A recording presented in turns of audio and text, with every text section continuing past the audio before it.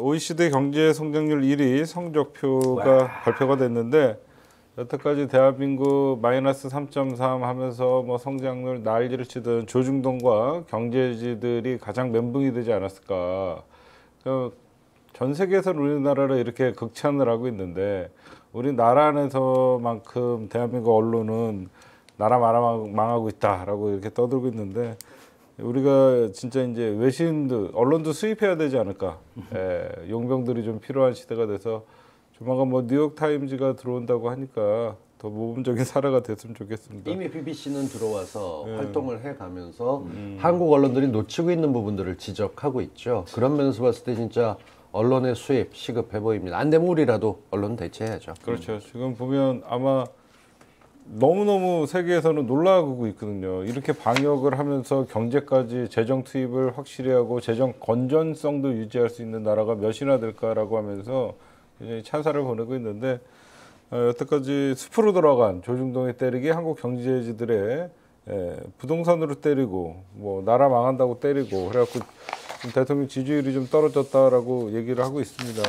어, 이번에 OECD가 상향 조정한 건 그러니까 처음에는 마이너스 어, 더 1.2였다가. 1.2였다가 오히려 성장 목표치를 상향해 준 게 우리나라가 처음이래요. 그렇죠. 그러니까 그만큼 대한민국의 앞으로 경제 전망을 좋게 보고 있다는 거거든요. 그 OECD가 단순하게 경제 성장 연구를 긍정적으로 보는 거는 지금 재정 우리가 확대 정책을 펼치고 있잖아요. 전 세계가 펼치고 있는데 그 추경한다고 할 때 무슨 국가 뭐 고간이 뭐 거덜난다 이런 난리를 쳤는데 오히려 OECD에서는 적절하게 재정 지출을 잘했다. 그러니까 정책을 잘 펼쳤다라고 긍정적인 효과를 얘기하면서 뭐두 마리 토끼를 잡, 잡았다. 코로나 방역의 모범적인 사례와 어떤 경제 를 잘 이겨냈다라고 얘기하고 있습니다. 그룹으로 나누면 세 그룹으로 나눠집니다. 하위권입니다. 10위권 밖에 있는 나라가 스페인, 이탈리아, 프랑스, 영국. 아하. 여기가 코로나19를 제대로 막지 못하고 엄청난 사망자가 났던 나라들입니다. 마이너스 11% 하게 되면 엄청나게 빠졌다는 얘기가 되는 거죠. 그 다음에 중위권 국가들이 뭐 아이슬란드, 체코, 포르투갈 같은 데들부터 사실은 터키까지가 4.8%에서 9.9%. 그러니까 마이너스 5에서 거의 10%대까지 빠진 나라들입니다. 그리고 독보적인 게 우리나라입니다. 1위가 마이너스 0.8이고요. 2위가 마이너스 4.8입니다. 터키요. 예. 지금까지 이런 도표는 본 적이 없고 이 탑에 대한민국이 터키랑도 올라가면 한4% 이상 차이가 나요. 그러니까요. 독보적으로 1% 이하 되는데 마이너스 0.8이 대한민국의 OECD 국가 1위입니다. 우리가 기뻐하셔야 될 일입니다. 이게. 도표로 한번 통해서 여러분들에게 직접 한번 보여드리도록 하겠습니다. 음. 다른 일곱 개가 한국 있습니다. 경제 성장 전망이 상향 조정되었습니다. OECD 국가 중에선 처음입니다.